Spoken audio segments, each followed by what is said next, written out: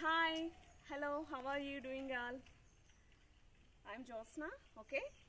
Uh, this is my village and this is my school. My primary education will be completed here. Uh, so today we will learn about uh, acids and base. Okay.